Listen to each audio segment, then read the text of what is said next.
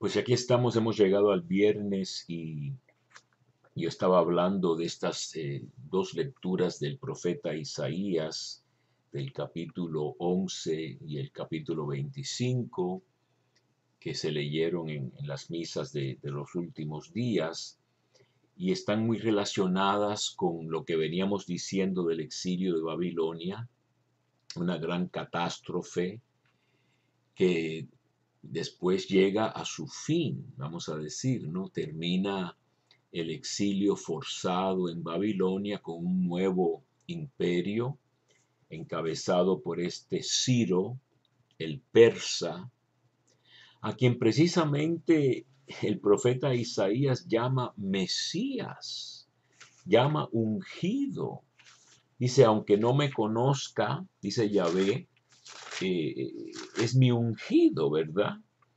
Eh, Isaías 45, en el primer verso. Entonces, la lección aquí es, después de un gran castigo, un gran escarmiento, eh, un gran sufrimiento, hay una liberación, hay una nueva esperanza. Es el ciclo ese pedagógico que he dicho yo. Necesitamos disciplina, que nos corrijan. Es durísimo. Lo vimos en Hebreos, eh, el capítulo 12, que ninguna disciplina es placentera, nos gusta cuando nos la dan, pero después produce un fruto apacible de justicia. ¿Verdad? Entonces, eh, yo les eh, hablaba del capítulo 11 de Isaías, en el cual se promete eh, un descendiente de David, con estos dones del Espíritu Santo, para regir bien al pueblo y cubrir la tierra con el conocimiento de Yahvé quiere decir con una íntima relación, una relación renovada y profundizada de Yahvé. Y como yo les decía, este profeta Isaías en estas partes que son eh, más bien tardías, eh, me parecen a mí en, buena parte, ¿no? Eh, son, son muy inclusivas, es decir, universalistas. No es nada más preocuparse del pueblo judío, sino compartir los dones y las experiencias que se le han dado y que ha sufrido y experimentado el pueblo judío para que lleguen hasta los confines de la tierra. Incluso al final de Isaías se dice que van a tomar a sacerdotes y levitas de gente que no conocía a Yahvé, lo cual contradice todas las reglas de genealogía, de la ascendencia que había que tener para ser un sacerdote judío, ¿verdad? Y esta, esta esperanza, esta liberación se expresa en términos del modelo del éxodo de Egipto. La historia grande de los israelitas, la gran liberación prototípica, el modelo es que fueron a Egipto muriéndose de hambre, Jacob y sus hijos, así que fueron inmigrantes y allí pues les va bastante bien hasta que hay un cambio de faraón Así que los cambios de, jefes pueden ser malos o buenos. Con Ciro fue bueno y con este nuevo faraón fue malo. Y esclaviza al pueblo, están en la miseria, claman a Yahvé y son liberados. Y aquí eh, les leo eh, el final del capítulo 11 que, no aparece en, en esta pantalla. Secará Yahvé el golfo del mar de Egipto agitará su mano contra el río. Con la violencia de su soplo lo partirá en siete arroyos y hará posible pasarlo en sandalias. Habrá un camino real para el resto de su pueblo que haya sobrevivido de Asur, como lo hubo para Israel cuando subió del país de Egipto. Explico un poco eso. El mar es el lugar del caos y de los monstruos marinos que representan el mal. Cuando Yahvé seca el mar, está eh, dominando, eh, está domesticando, vamos a decir, a una fuerza salvaje, ¿no? Y entonces sopla con, su, con sus narices de, de, fuego, vamos a decir, un soplo ardiente, como ese siroco que viene del desierto, un viento abrasador, y eh, divide este mar tan malo en siete arroyos que se pueden pasar en sandalias, ¿verdad? Y será un camino real, un camino real. Así que eh, Dios nos aplana el camino para poder eh, seguir caminando. Yo estaba meditando hoy los misterios eh, dolorosos de la cruz, del, sí, de la pasión de Jesús, y cuando uno llega al cuarto misterio doloroso, Jesús carga su cruz, Jesús con su cruz a cuestas, sube al Calvario.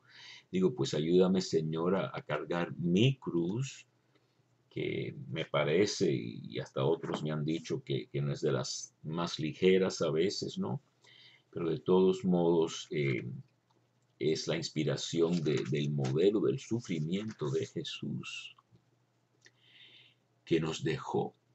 Eh, el modelo por excelencia de maltrato, sufrimiento, aguante, caridad, amor, perdón, en medio de estos tormentos como un legado, un legado eh, un recuerdo, un ejemplo, una inspiración y una fuerza, porque en la cruz en Juan entrega su espíritu que reciben los discípulos y nosotros en el capítulo 20 con la resurrección. Les sopla Jesús. El Pentecostés en el Evangelio de Juan es ese mismo domingo de la resurrección. En Lucas hay una cosa casi litúrgica de 40 días de, de espera y después eh, diez días después, en Pentecostés, viene el Espíritu Santo, unos 50 días, como en la fiesta de Pentecostés, que quiere decir 50, ¿no? Entonces también yo les relacionaba esta lectura tan bella, de las más, de las favoritas mías, ¿eh? de Isaías 25, y esto sí eh, es de una parte tardía de Isaías, se llama el pequeño Apocalipsis de Isaías, sí, del capítulo 24 al 27, y este es el capítulo 25, y, lo voy a leer. Dice, hará Yahvé Sebaot, el Señor de los ejércitos, a todos los pueblos en este monte un convite de manjares frescos, convite de buenos vinos, manjares de tuétanos, vinos depurados es un banquete de una comida muy rica. Por cierto, lo, investigué, no se trata de carne. Eh, yo les hablé del león vegetariano del capítulo 11 de Isaías, ¿verdad?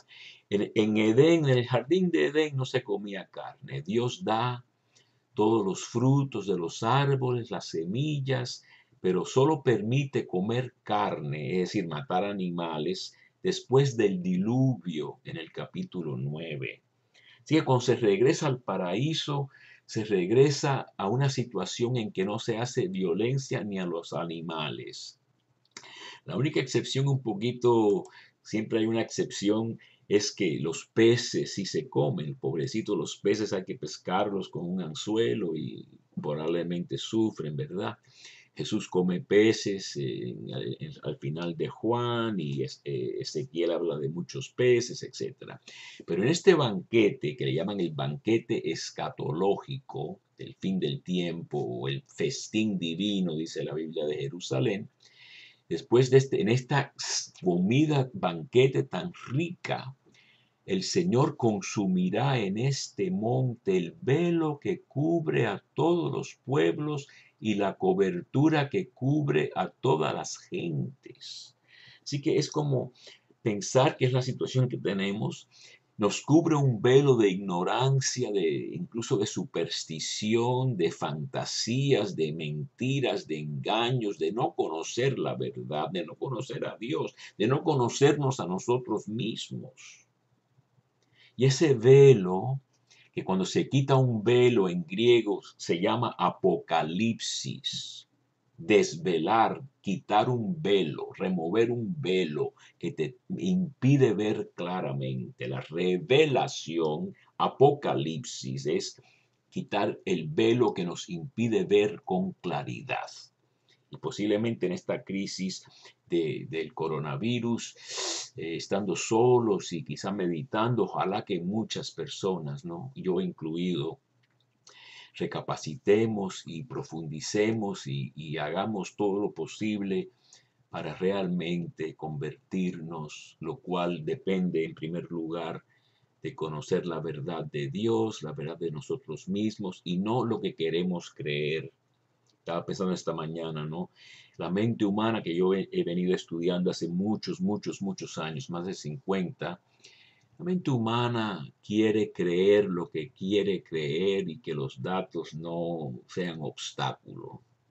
Tengo amigos que no les gusta investigar cosas, quieren pensar lo que se les ocurrió y les halaga, les gusta pensar eso y no lo comprueban con investigación y confirmación de datos. Entonces aquí este, en este banquete enjugará el Señor, bueno, consumirá a la muerte definitivamente. Por eso es escatológico, ya no habrá muerte. Enjugará el Señor Yahvé las lágrimas de todos los rostros y quitará el oprobio de su pueblo de sobre toda la tierra, porque Yahvé ha hablado. Y ustedes pueden ver que este lenguaje lo, adopta precisamente el libro de la revelación o conocido como el Apocalipsis, el libro final de, la Biblia y del Nuevo Testamento. Entonces, eh, los expertos nos dicen que Jesús precisamente con tantas comidas que tenía, con pecadores, publicanos, gente eh, excluida del judaísmo y la sociedad eh, decente, vamos a decir, Jesús tiene estas comidas como símbolo del el festín divino, como Dios acogiendo a todos, pero con buena comida, con rica comida, celebrando. Ellos se recostaban, que es la manera de comer que tenían los judíos para las fiestas. Cuando leemos los evangelios, Marcos 3, por ejemplo, o Marcos 2 quizá, están recostados, quiere decir que están como si estuvieran en una fiesta y era, era un día normal, pero estaba Jesús con ellos. Y con esos pensamientos vamos a, tener que, que parar y seguir la semana que viene con la gracia de Dios.